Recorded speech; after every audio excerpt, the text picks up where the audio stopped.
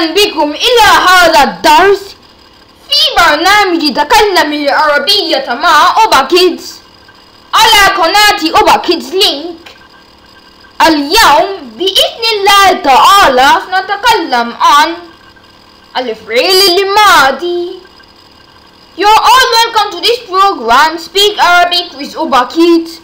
Today, inshallah, we're going to discuss past tense in Arabic language. Past tense in Arabic language, fi'l madi. In Arabic language, the past tense is known as fi'l madi. The past tense describes the event or action that happened in the past. In Arabic language, a past tense normally takes al-fatha parsing mark at its end. If it consists of only the root alphabets, however, this might not be so in other cases where there are some internal changes that occur to the past tense. Then it takes a different sign or parsing mark aside al-fatha sign. The past tense in Arabic language is non-declinable in nature. This is because it usually ends with al-fatha, but if some alphabets like waw jama'at or ta mutaharrika or nun niswa or na al-fa'ilu are attached or joined to its end, then it is declined on either a dhamma or a sukun. We shall hence Look at the conditions in which past tense in Arabic language can take different other passing marks aside the normal root sign which is al-fatha.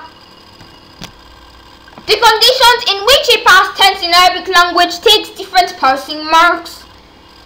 1. When the past tense consists of only the root alphabet, either the root alphabets are 3, 4, 5 or 6.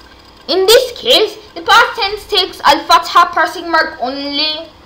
2. When the singular feminine ta sign, tau tani sakina, is joined to the end of the past tense, then it takes al-fatha also. 3. When the masculine plural subjective waw, waw jama'at, is joined to the past tense at its end, it takes a dhamma parsing mark. 4. When the feminine plural subjective noon and nunu niswa is joined to the past tense at its end, then it takes a sukun parsing mark. 5. When the subject ta, tau mutaharrikat au with its different signs, is joined to the end of the past tense, then it takes a sukun parsing mark. 6. Lastly, when the subjective plural na and nunu jama'at is joined with the past tense at the end, then it takes a sukun also. The conditions in which a past tense takes al-fatha parsing mark. 1. The first of these conditions is when a past tense takes al-fatha sign, which is the root sign of any verb in the past in Arabic language. The past tense usually takes al-fatha sign inasmuch as nothing is attached or joined to its end, i.e., if it is only the root alphabet that constitutes the verb, either the verb is of the root, three alphabets, four or more than that. Example of these are جلس الولد على الكرسي The boy sat on the chair. استأذن الرجل قبل الدخول The man took permission before entering. أكرم الله المسلمين Allah honored the Muslims.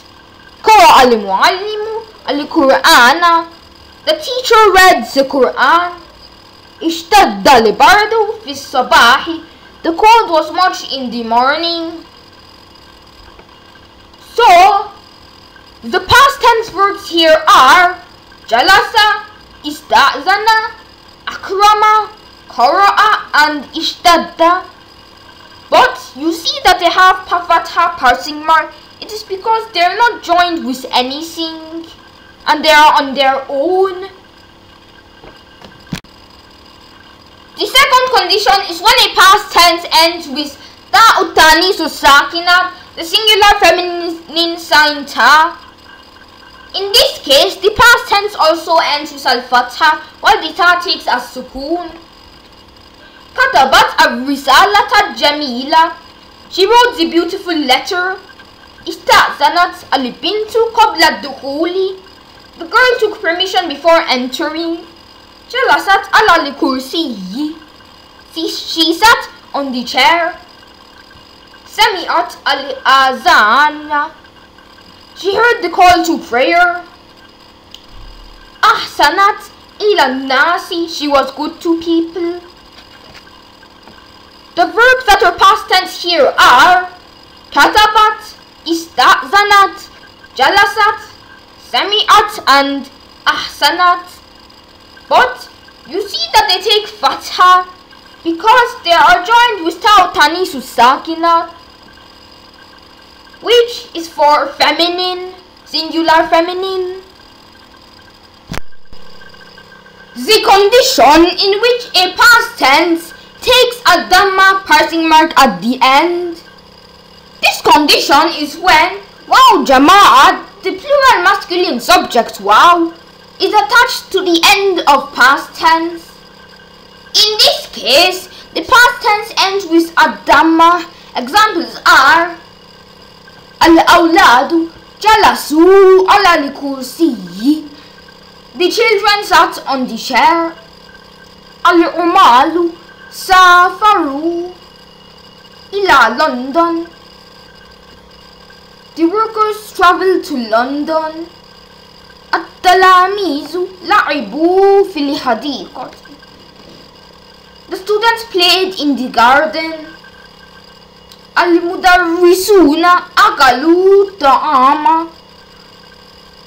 The teachers ate the food. المسلمون فرحوا. The Muslims were happy.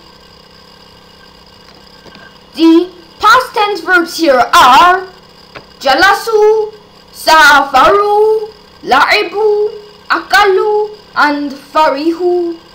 But you see that the past tense verbs take a dhamma passing mark at the end. That is because they are joined to waw jama'at, which is for plural masculine. The conditions in which a past tense takes a sukun passing mark at the end. Here, the first condition is when the past tense ends with nunun niswa, the feminine plural subject nun. In this case, the past tense ends with a sukun. Examples are Al-Muslimat ta'allamna al-Qur'an. The Muslim females learn the Qur'an. Al-Ummuhat at'amna al-awlada. The, the mothers fed their children. Al-Fatayat katabna al-risala. The young girls wrote the letter. At-Tabibat ذهبنا إلى المستشفى. The female doctors went to the hospital. المعلمات درسنا القرآن. The female teachers taught the Quran. You see that the verbs تعلمنا, أتعنا, كتبنا, ذهبنا, and درسنا are all fi'l madi and they take a sukun because of Nununiswa, which is plural feminine. The second condition under this is when the past tense ends with a sukun. is when ta'ul fa'ilu aw ta'u mutaharrikan the subjunctive ta with its different signs. As a result of this, the past tense ends with a sukun. Examples are القرآن You read the Quran تكلمت مع المدرس I talked with the teacher كتبت على السبورة You wrote on the board أكرمت المعلمة You honored the teacher أكلت الطعام I ate the food the past tense verbs here are قرأت, تكلمت, كتبت, أكرمت, and أكلت. You see, in the first example, the fi'l madi past tense, it takes a sukoon because of ta. This ta is for second person masculine, while in the second sentence it also takes a sukun, but the ta this time takes a dhamma. That is because this ta is for first person. In the third set sentence, the ta this time takes al kasra. This is because it is for second person feminine. The fourth sentence, the ta is now changed to tum because it indicates plural second person. And the last sentence, the ta takes a dhamma because it is for first person. The last condition under this is when it takes a sukun parsing mark when na'ul fa'ilu, the first person plural subject na, is joined or attached to the end of a past tense, then the past tense ends with a sukun. Examples of this are خرجنا من الفصل, we went out of the class. فتحنا باب المسجد, we opened the door of the mosque. فهمنا الدرس, we understood the lesson. أكرمنا المعلمة, we honored the teacher. أكلنا الطعام, we ate the food. You see, the past tense verbs here are خرجنا, فتحنا, فهمنا, أكرمنا, and أكلنا. but you see that they all take Sukun. That is because now Ulfa'ilu is joined to them. Which indicates plural first person. Hope you enjoyed our class for today. Join us on the next lesson for another episode on Speak Arabic with Oba Kids. شكرا على المشاهدة. Thanks for watching and subscribe to our channel ObaKids Link TV, Facebook and Instagram. So for more interesting topics and subjects, visit our website at www.obatutor.com. Thank you all for your support.